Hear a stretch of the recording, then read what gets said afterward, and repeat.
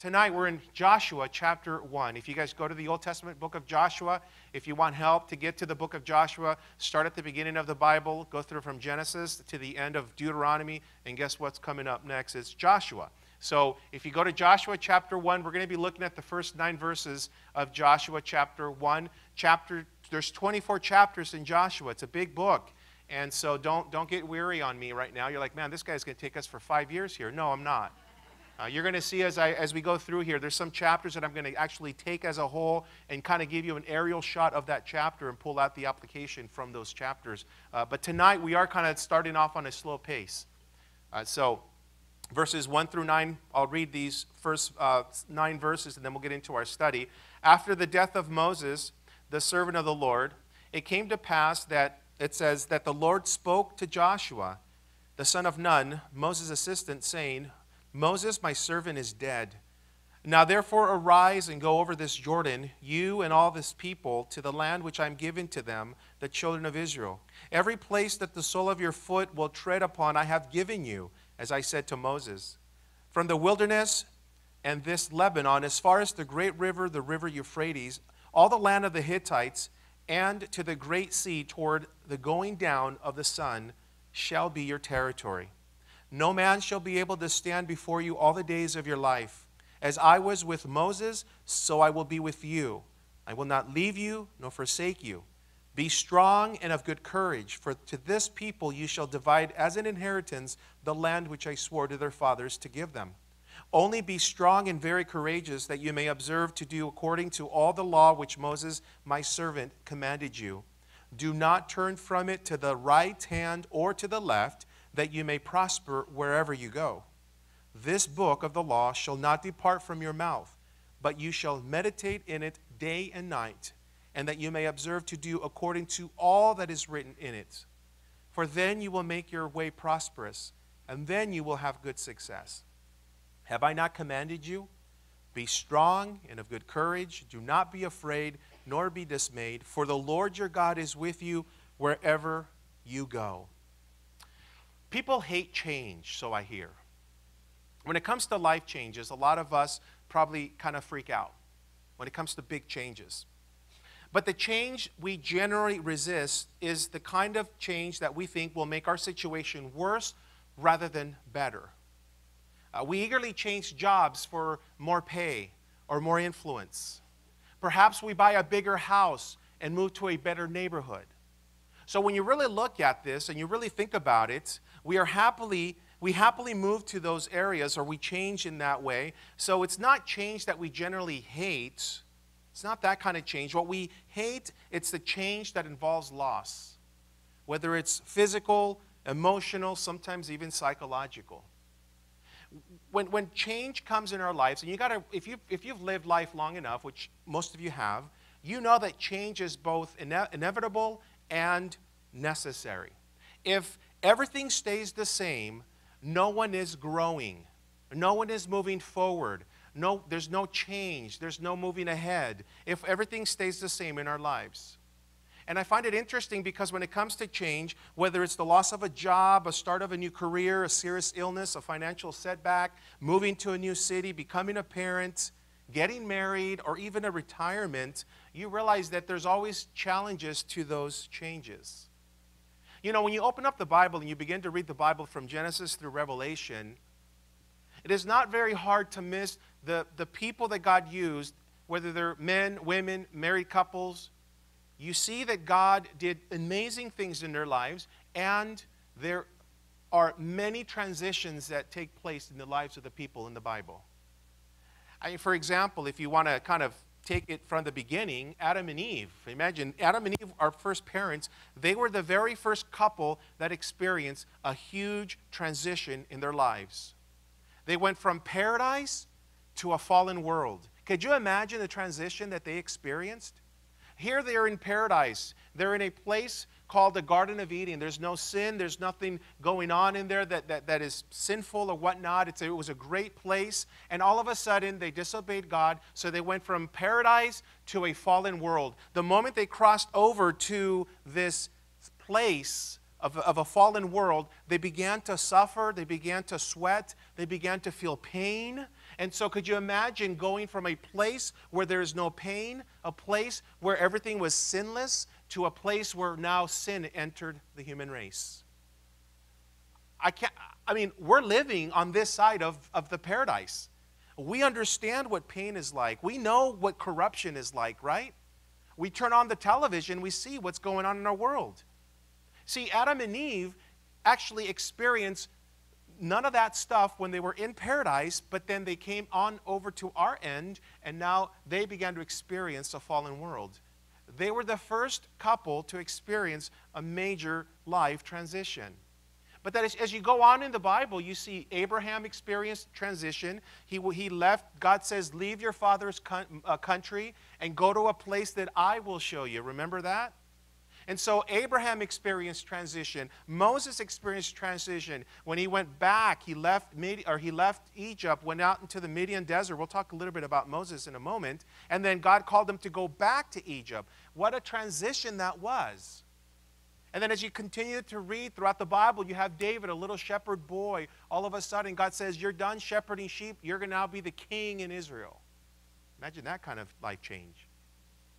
And then not only that, but as you go into the New Testament, you have the disciples who went from fishers of fish to fishers of men, a big transition, big change in their lives, right? And then not only that, but they experienced another transition when Jesus died on the cross, he rose from the dead, and they saw him ascend back into heaven, and Jesus says, "Okay, you guys are on your own now." Wait a minute, we've been with you for a long time, for 3 or so years, and now we're alone. What a kind of transition was that? And you read throughout the Bible, I'm just giving you a few examples there, but as you go through the Bible, you're going to come up to a lot of people in Scripture that God did some interesting work in their lives and they experienced transition and change in life. One of the things that we have to see as we look, go through this book here is that every major change brings a challenge. You cannot escape that. And, and we see here that as we look into the book of Joshua, as we enter into this book, we are going to see probably one of the biggest transition in, in the history of humankind. And that is the children of Israel finally entering into a promised land. They got promised Abraham. It's a promise that God kept. And here is Joshua, Moses' assistant. Moses becomes, or Joshua becomes Moses' successor and now he takes the baton and takes the children of Israel into the promised land. You see, when it comes to the children of Israel, I say that the children of Israel, I would say that they have, they're, they're, they're the ones that experience the most transition in their personal lives as, as, as, as a nation, as a group of people. They were in constant transition over and over and over and over and over. It wasn't anything new to them. When it comes to the book of Joshua, we're going to be looking at this, and we're going to start off with these nine verses by looking at these things.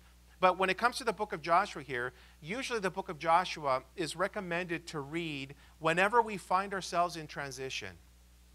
When somebody's going through a transition, I say, hey, listen, dive into the book of Joshua. There's a lot of wisdom there when it comes to transition. When it comes to life changes and how to go about it and all that, the book of Joshua is a great book. And it's interesting because this book has been very instrumental in my personal life because I've gone through a lot of transition in my personal life. And, and I'm going to continue to go through transitions. So this book's going to be right there with me when that happens again. And so when we look at this, we see that this book is filled, it's, it's rich with all kinds of wisdom when it comes to transition in life.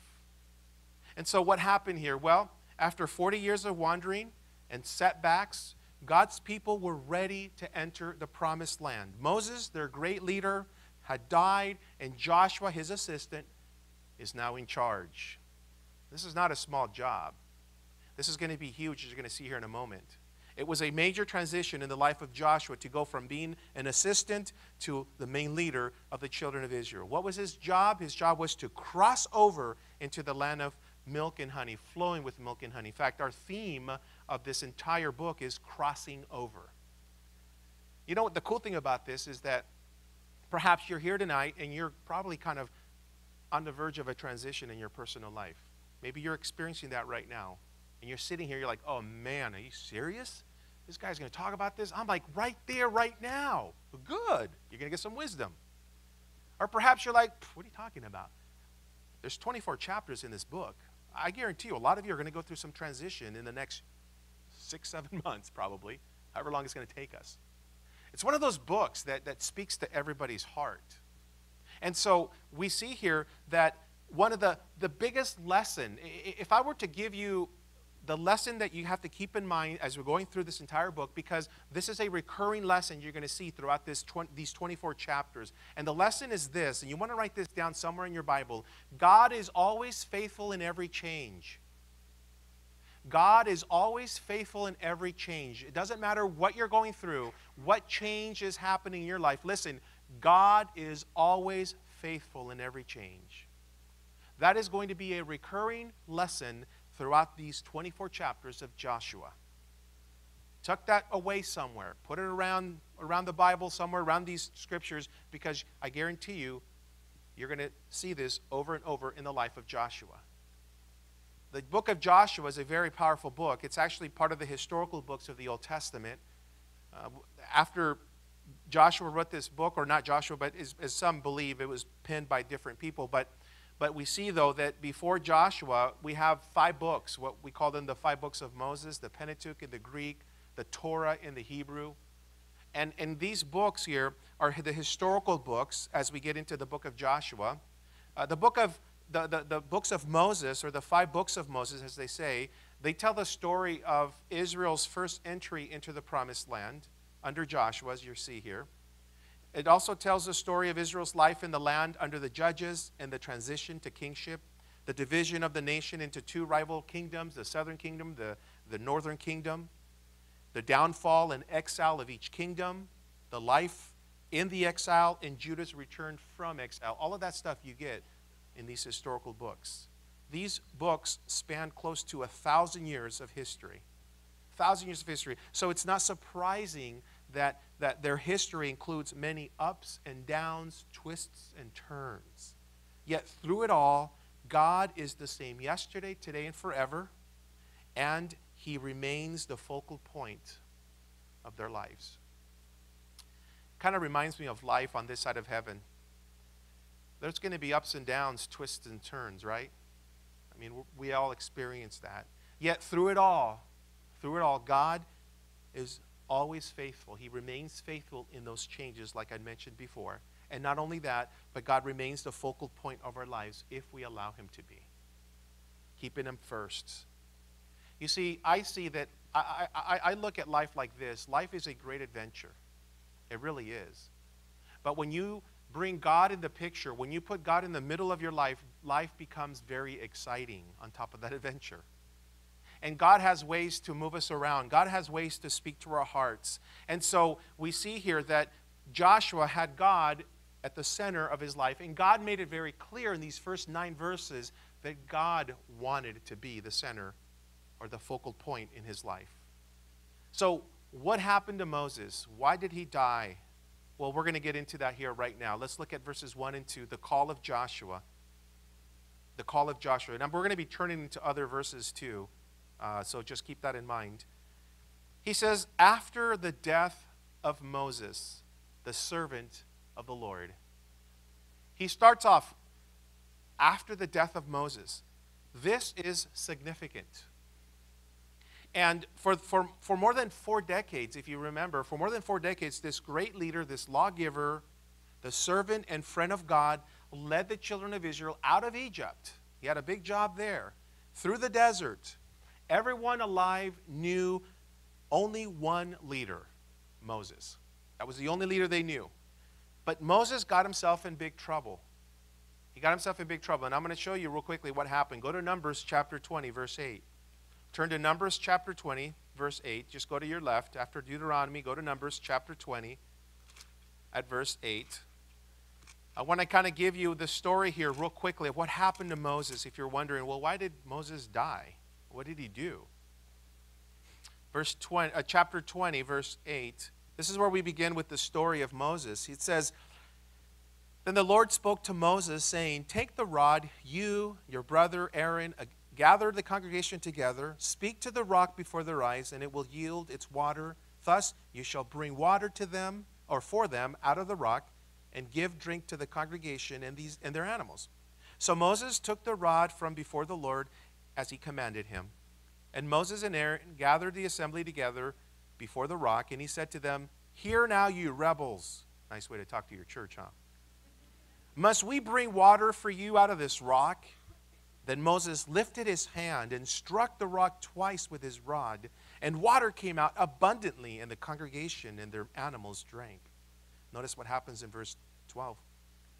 It says, Then the Lord spoke to Moses and Aaron, Because you did not believe me, to hallow me in the eyes of the children of Israel, therefore you shall not bring this assembly into the land which I have given them. This was the water of Meribah, because the children of Israel contended with the Lord, and he was hallowed among them. What did Moses do that warranted such a severe penalty from the Lord? I mean, you, you look at God, you're like, okay, I've blown it many times. I've blown it. And God has never said to me, oh, sorry, you can't get to heaven now. You're done. You blew it, right?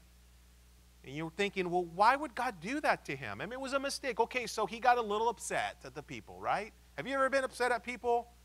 Right? Have you ever said dumb things to people? Right? You're like, oh man, I can't believe I said that to them. And you go to God and say, Lord, I'm so sorry for what I said. I know this was not good. It wasn't right. And God doesn't say, well, too bad. I won't forgive you, right? He forgives you. So what happened here? Why did Moses get this huge punishment? There's four reasons I want to give you. Quick ones. First, Moses disobeyed a direct command of God. That's why God did this. God made it very clear to Moses this is what you're supposed to do speak to the rock. A direct command. Moses disobeyed God. Now you wonder why God went after Jonah. Wasn't there a direct command given to Jonah? Jonah, arise and go to Nineveh. Nope. I mean, how do you feel when your kids say that to you? Hey, son, take out the trash. No way. I mean, do you, what do you do? Do you get like, all right, fine, tomorrow do it then? No, you go, excuse me? You just, I just gave you a direct command to take out the trash. You don't say no to me.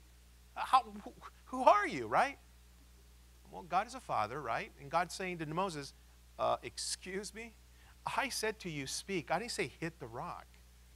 And so it was a direct, a disobedience to direct command of God. The second reason why this was very severe is because Moses took credit for bringing forth the water. You're like, really? How did that happen? Well, notice in verse 10 of Numbers, Moses says, Must we, referring to Moses and Aaron, bring you water out of this rock? Ooh, what do you mean? It's not your doing, Moses. It's not your doing. This is God doing this through you. And so there's another violation. Third, Moses and Aaron lacked trust in God, which is reflected in the fact that God pointed it out to them when he says, Because you did not trust in me enough. Numbers 20, verse 12. Because you did not trust me. And fourth, Moses basically misrepresented God. He totally misrepresented God. He became very angry. He was very harsh to the people. And even though God knew that the children of Israel had some issues, right? They were very, very um, glitchy, if you will, I guess, right? They were very, they were complainers, murmurers, and all of that. God still loved them. And so Moses had no right to represent God as an angry God. Rebels.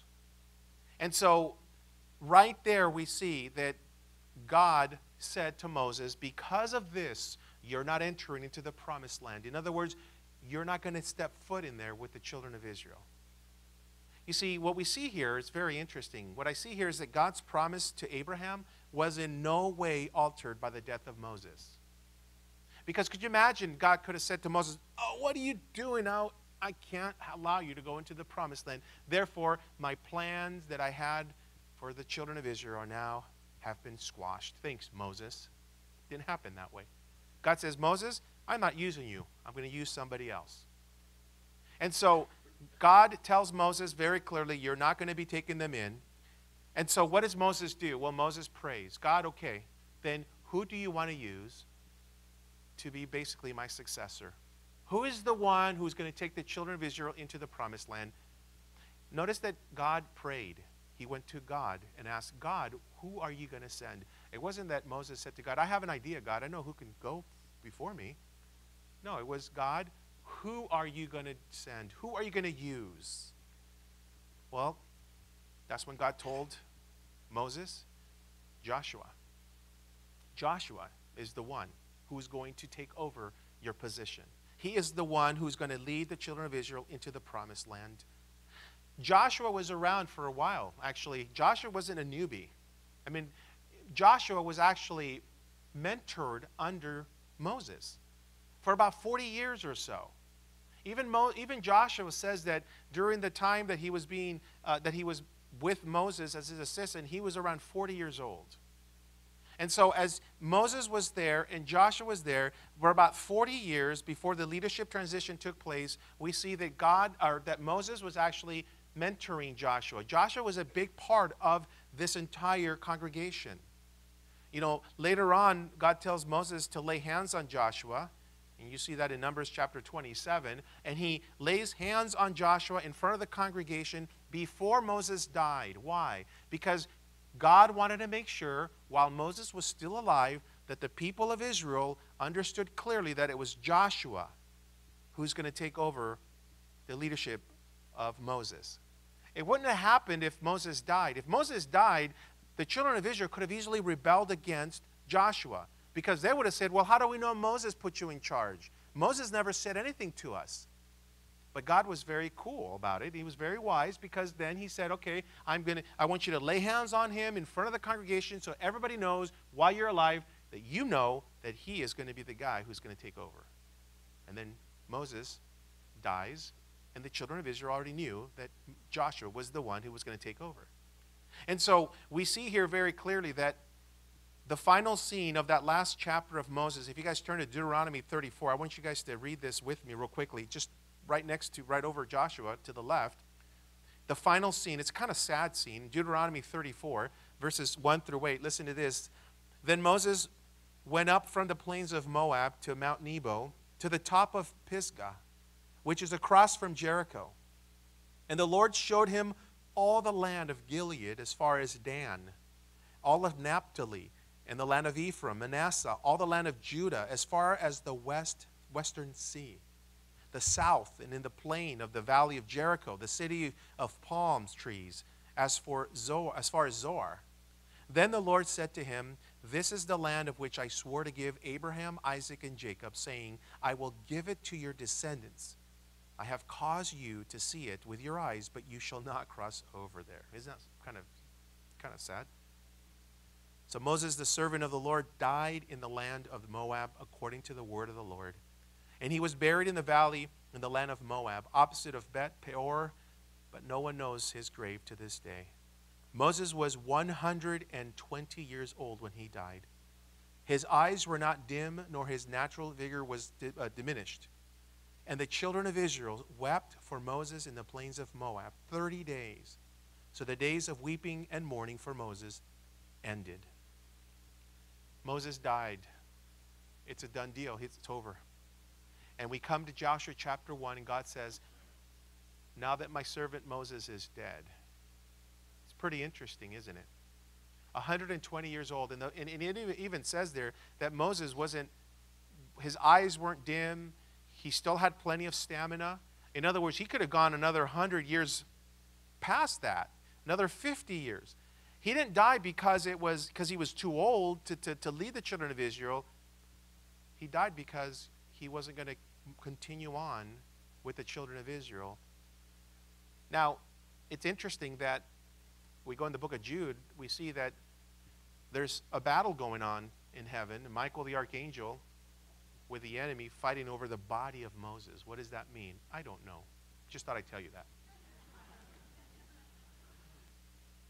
It's interesting, too, in the Transfiguration, the Mountain of Transfiguration, when Jesus takes his disciples on this mountain, there are two people with, with Jesus Elijah and Moses.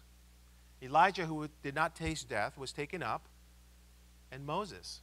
It's interesting. I don't know what, what's going on there, but we know for sure that Moses represents the law, uh, Elijah represents the prophets.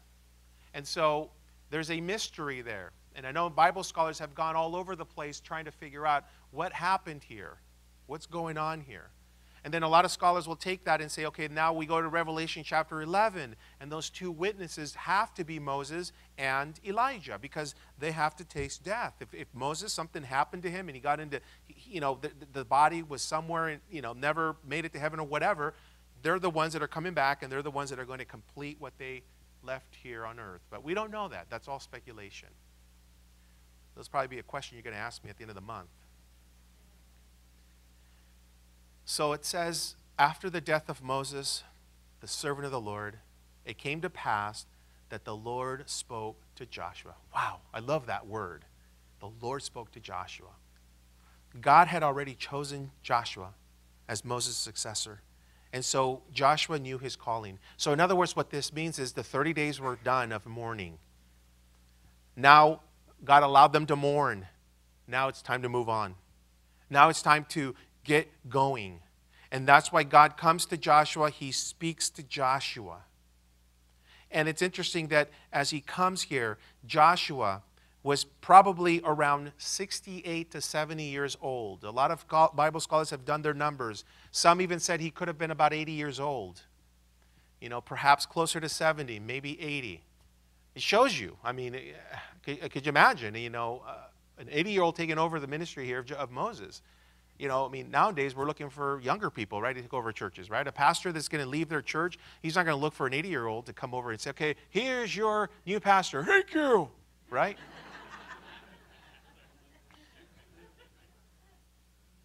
no offense to those who are older here. God still can use you. But you know, you, you're trying, you know my point right here, right? You get my point here, right? I mean, please, God's like, really, Robert? I, you don't think I can use an 80 year old? I know you can, Lord. I know you can.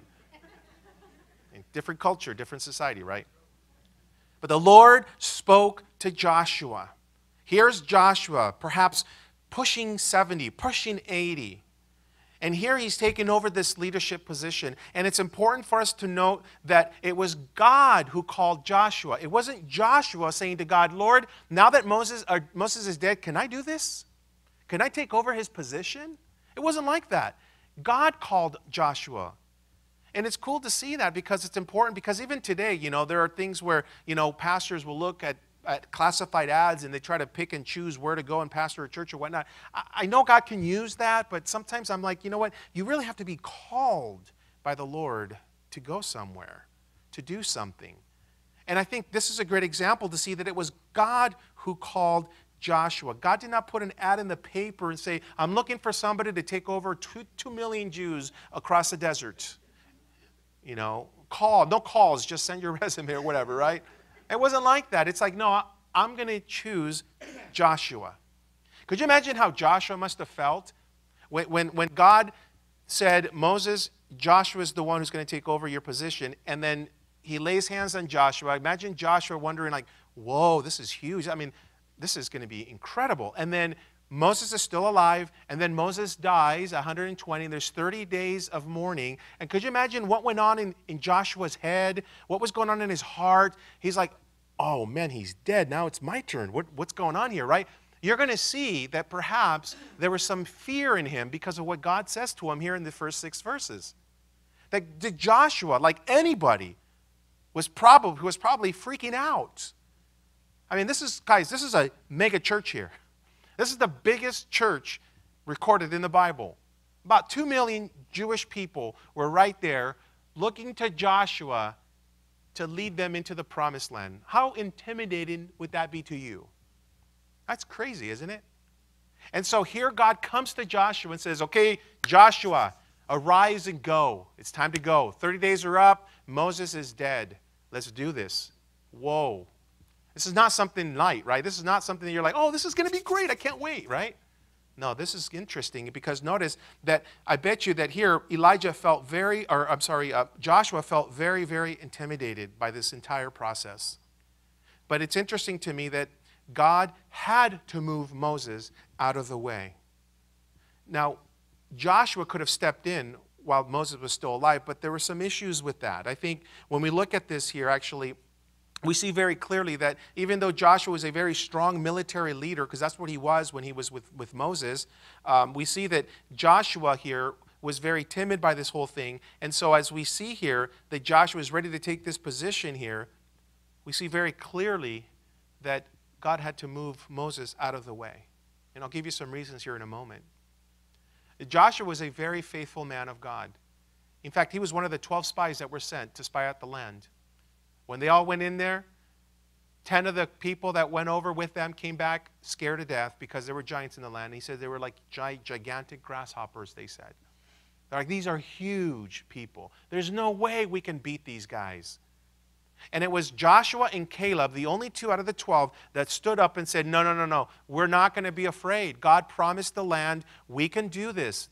God is going to give us the victory. Let's do this. He was the only one with Caleb out of those 12, out of the 10 there, that actually had the courage to say, No, we're not going to, we're not going to be afraid. The only people that made it to the promised land was Joshua and Caleb and the children of the first generation. Their parents didn't make it. Isn't that crazy? Those guys just stayed in the wilderness and died there. It was their kids. And Joshua and Caleb were the ones that stepped over, and they were ones that came in. Now you wonder, well, what about Aaron? Well, Aaron died. He died at 123 years old. That's a long time, huh? 123 years. That's a long, long time. But he died. And he was part of the mess that Moses got himself into. So, so God wasn't going to use Aaron because you would think, okay, there's Moses, and, and I thought Aaron was his right hand man. He was, but he was part of the whole thing. So God says, I'm not using you guys. We're going to go with somebody new.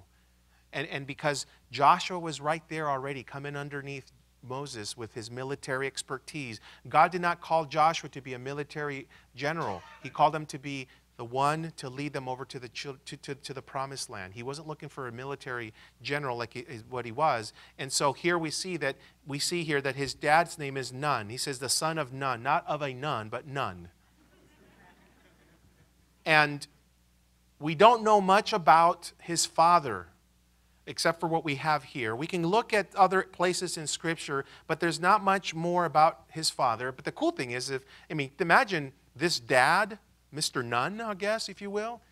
I mean, he had a son that, that took over this position. I mean, could you imagine being the dad of, a, of your son, and your son's like, yeah, dad, I'm going to take over this church that's about 2 million people. I mean, could you imagine? As a dad, like, good job, son, do it, you know? I mean, that's pretty big. And so he's the son of Nun, and yet here we see here that the name Joshua, just to throw this out to you so you kind of have this, uh, the Greek name Jesus simply translates the Hebrew name Joshua. The names are identical, they both mean salvation. So there's a, there's a spiritual component to this that I'm going to share with you here in a moment. But he says in verse 2, My servant Moses is dead. I love that. God says, My servant Moses. Not my boy, not my man, my servant. The word servant in the Hebrew just means minister my servant, my minister Moses, is dead. I want to circle back around to what I said earlier that God had to move Moses out of the way for Joshua to effectively take over his leadership. God didn't allow Moses to be around. Why? Well, here's where some commentators kind of begin to kind of look at the picture from a spiritual perspective. We're not told the reason why here. But it's interesting that there's an observation that's made that, that they say Moses represents the law, Joshua being a type of Christ's. So the law was never intended to bring total forgiveness of sins. We actually went through the book of Hebrews talking about that. It pointed us to Jesus, to Christ, who is the one who leads us to victory and to the promised land. And so Joshua's name, which is so clearly, um, you know, focused on, you know, meaning Jesus, salvation, or whatnot, reminds us that Yahweh is salvation. And so Moses, representing the law, would not take us into the promised land. But Joshua, being the type of Christ, as Christ came full of grace, that's what gets us into the promised land. So there's a spiritual component to it. It's an observation. This is a speculation. Uh, you, you'll find this in commentaries and all. But, but, but I think on a practical level, if you want to look at it from a practical perspective, I would say that it would have been very difficult for Joshua to freely lead Moses while Moses was still alive. Because remember, the only leader that the people knew was Moses. And so if Moses was still alive and Joshua was here, it could have been some confusion there. It would have been a little difficult on a practical level. John Wesley said this, and I quote God buries his workmen, but his work goes on. And I think that's true. You know, listen, God uses men and God uses them in a powerful way, but God doesn't get stuck on that. Because then God says, listen, I want to continue my work. And so he raises up other people to move forward with the work. And so we see this exactly, this happening here with Joshua. That yes, I respect Moses. He's my servant. He's dead. But listen, Joshua, it's time for you to rise and go. My work is not complete, is what, what we see here. And that's what he says there arise and go. This is a command, not an option. Go. Again, Jonah was told by God to go to Nineveh, and he said no.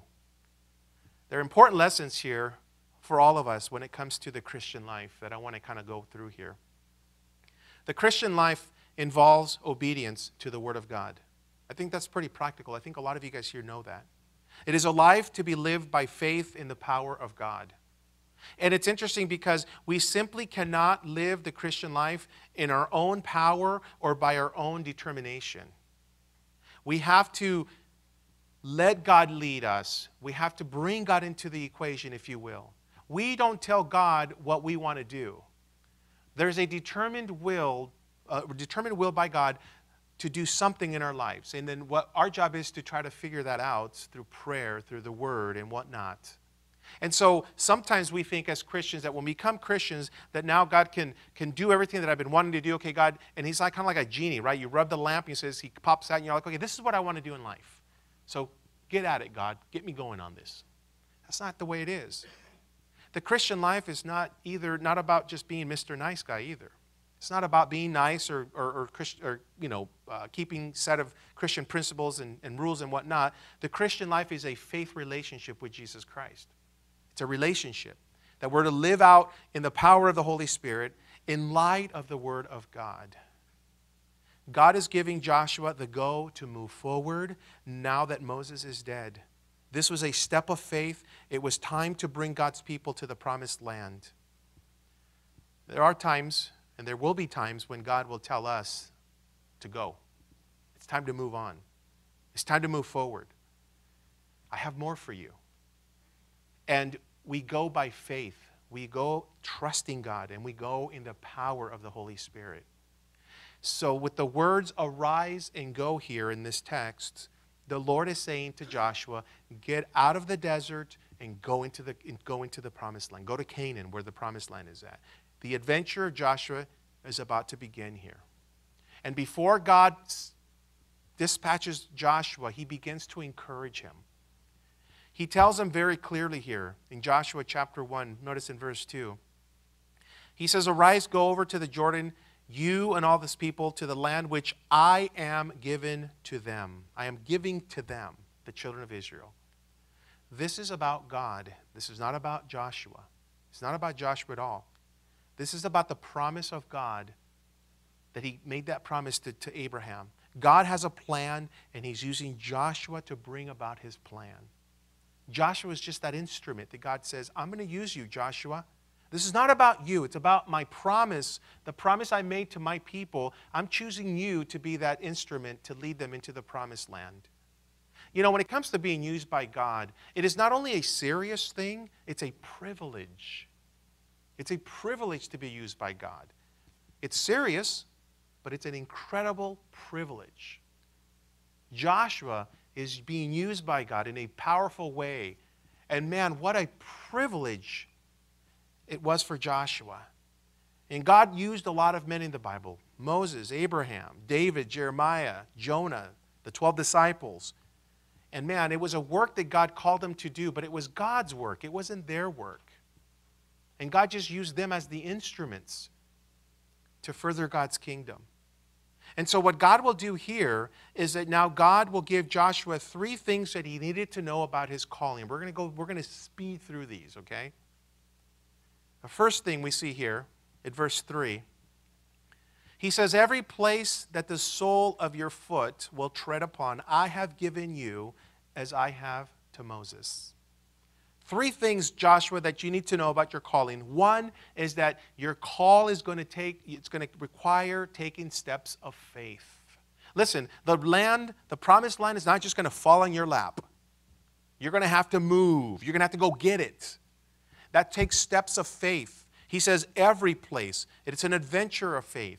It's not just going to fall on your lap. But step by step, God will lead Joshua into the promised land. Let me say something about faith. Faith is action, guys. Faith is action. Faith is movement. Faith is activity. When we look at faith, the Christian life is a life of faith. You know, Ephesians chapter 2, verse 10, listen to this. For we are his workmanship created in Christ Jesus for what? Good works. There's action, there's movement there, right? which God prepared beforehand that we should what? Walk in them, right? It doesn't say that we are his workmanship created in Christ Jesus to sit on our hands. We're created for something, for good works, that God is preparing beforehand so that we should walk through them or walk in them. In other words, right now, there are works and things that God is doing in your life, and you are going to be walking into those works that God is preparing for you. He's preparing them already. And He's going to get you from A to B, and He has ways to do it, unless you're a Jonah and say no. And the cool thing about that is that it shows us that the Christian life is an, uh, it's a life of action. We're, we're, as Christians, we're to be active within our faith. We don't just get saved and sit on the side and say, okay, well, I'll just wait till I get to heaven. No way then, then, then it's going to be boring. And Christians will say, well, Christian life is boring. No, you're boring, not God. God is not boring. When you look at the Bible, I mean, you read it and you're like, man, God is a God of action here. How, do, how can I get involved here? How can I get into the plan here? Well, we have to trust the Lord and walk by faith, as the Bible says, not by sight. God is encouraging Joshua to move forward. The land is theirs, ready to take, but Joshua needed to start moving in faith as God comforts him there in verse 3. He's going to take those steps of faith, as you're going to see here as we go through the book of Joshua here. And God is calling him to a specific task, and he's promising Joshua right away victory. He's, uh, he's, he's, he's promising victory right away. You know, sometimes we stop moving forward because there's opposition or because there's obstacles in the way, and sometimes we even conclude it must not be God if there's so much going on. No, no, no, that's not true. I mean, you're going to see here that even though we're reading these first nine verses, as we get into this book, there's going to be a lot of opposition and obstacles in the way here to enter that land. And, and it's interesting because taking the land took effort. The challenge ahead was not for those content with Egypt, but for those who would press ahead for what God had called them to. Because remember, there was one point where the children of Israel said, Let's go back to Egypt. We had it better there. Leeks, onions, and all that. Remember that? They were liars. Romanticizing the past is really bad sometimes. Christians do this a lot. Oh, you know what? I had it better before I was a Christian. You know, my friends did not bother me. I didn't have all these temptations. You know what? It was better back then. Oh, really? Being a meth addict was best? Oh, really? Okay, so, so, so, so life before Jesus was better. See, when you romanticize the past, there's something wrong. And the children of Israel did that because Egypt equaled slavery, bondage, torture. And for them to even say we had it better in Egypt was a lie. They were deluded. And so when you say to other people, I had it better before I was a Christian because of all this, listen, there's something wrong. You did not have it better before you were a Christian. In fact, life is better being a Christian. Yeah, there are ups and downs. I understand that. Yes, there are challenges, there are temptations, but listen, I've had more good times with Jesus than bad times with Jesus in my walk with Him. I'm serious. I'm not just saying this. And I hope that you would do the same thing. I hope you understand that, that you get off of that trip sometimes that you think you had it better before you were a Christian. That's a lie. Romanticizing the past is bad. It took effort for him to take the, the, the, the actual um, the land. When Nehemiah was called by God to rebuild the walls of Jerusalem, he took that step of faith to do it. And guess what met him on the way. Sanballat and Tobias. These two jerks, sorry. They were. Read it. These guys were bad. Man, these guys kept throwing discouragement to these guys. He was discouraging those on the wall. And so did Nehemiah say, oh, maybe the Lord's not in it because there's a Sanballat and Tobias, so we're going to go back? God, I'm sorry, God. I, I guess I thought you were. No, no. He says, I know what God has called me to do. I'm going to press on. And he did. And he built the walls of Jerusalem. And Joshua's going to experience that as well. And so what we see here is very clear is that in the Christian life, just because we're in Christ, saved, redeemed, doesn't mean that our lives will be without testing, conflict, struggles, and challenges. You're going to get those things. However, let me say this with God, because God is not, He's not against us, He's for us, we will experience deliverance through faith in all of those situations. That is what Joshua will experience. The second thing he gives him here about his calling, there's some boundaries. In verse 4, God lays out the territory. Joshua had to know the boundaries. It was a real land, and, and God did not want Joshua to be out in left field somewhere else wondering, is this where God wants us? No, he made it clear this is your boundaries. The third thing that he, he gave him about his calling is that God's everlasting presence was going to be with him. I love this. Verse 5, he says, I will be with you. That's enough for anyone seeking God's will, isn't it? I will be with you. Victory is assured not because Joshua was a good military uh, person, not because he was a good leader, but because God is a great God and God was going to be with him. That's where victory came. When God calls you and I to do something, you can be assured that his presence will be with you. And Joshua was there when Moses looked up to heaven and said to God this in Exodus 33 15. He says, If your presence does not go with us, do not send us up from here. Do you know how many times I've prayed that? And you know how many times I continue to pray that? Lord, if you are not going with me, if your presence, if your blessing is not here, if this is not where I'm supposed to be, then Lord, please do not send me. Please don't let me go. It's a, it's a very common prayer for me, to be honest with you. Why? Because I want to be where God wants me to be. Do you want to be where God wants you to be? Are you where God wants you to be? You got to be honest with God. Lord, am I in the right place? Am I in the right position? Am I in the right job? Am I in the right relationship?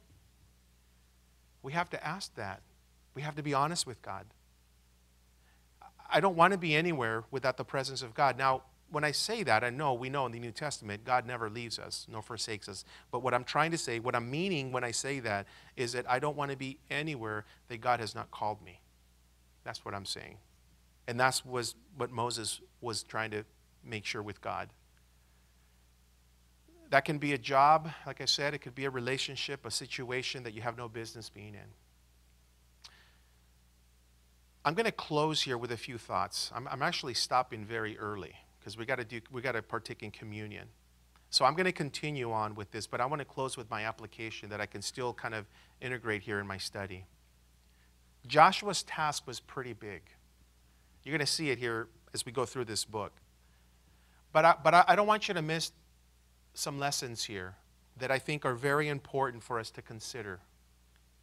And, and, and I want you to understand one thing here, and perhaps some of you here may be going through a lot lately. You're going through a lot lately in your life, or you're currently in a situation that is over your head. You're, it's over your head. And you're asking the question, what do I do? How do I move forward from this? Well, let me say this to you knowing that you are not alone should give you the courage to press on. Notice in verse 9, it says it there. Have I not commanded you? Be strong and of good courage. Do not be afraid nor be dismayed, for the Lord your God is with you wherever you go. Maybe the Lord just spoke to your heart right now. He just confirmed, He just comforted your heart. Listen, press on. Don't be afraid. Maybe God has been asking you to take a, a huge step into a deeper faith or to serve beyond what you think you're capable. Listen, God is aware of your fears. God is aware of your fears. If God is calling you into a deeper faith with Jesus, go for it. Don't be afraid. Go for it. If that means that you'll be going through a transition in life, so be it. Trust Jesus. But I'll leave you this final thought. Not all change is pleasant. We've established that. But when you're being led to a better place by God who loves you, we don't need to fear. All He wants is for you to trust Him. He'll work out the details. Don't worry about it. Don't go ahead of the Lord. He will walk you step by step. Amen?